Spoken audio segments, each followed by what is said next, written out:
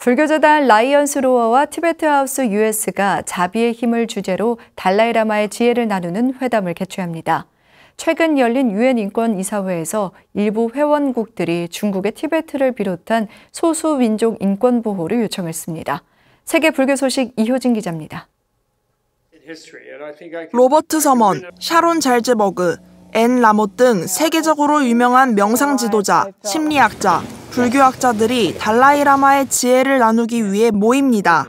불교재단 라이언스 로어가 티베트 하우스 US와 함께 자비의 힘을 주제로 달라이라마 글로벌 서밋을 개최합니다. 오는 14일부터 5일간 온라인으로 열리는 회담에서 달라이라마가 강조한 자비를 바탕으로 더 나은 세상을 만들 수 있는 방법에 대해 이야기 나눕니다. 라이언스 로어는 달라이 라마가 말하는 불교는 한마디로 친절함이라며 자비가 세상의 문제를 해결하는 만병통치약이라고 강조했습니다. 올해 달라이 라마 글로벌 서밋에는 총 20명의 세계 영적 지도자와 활동가, 연구자가 참여합니다. 이들은 일상 속 자비, 자비의 과학, 지구를 위한 자비 등 총 5개의 주제를 놓고 다양한 토의를 이어갈 예정입니다. 관심 있는 불자들은 라이언스 로어 프로모션 페이지에서 참가 신청이 가능합니다. 지난달 열린 제48차 유엔 인권이사회 회의에서 일부 유엔 회원국이 중국의 거듭되는 인권 탄압에 우려를 표명했습니다.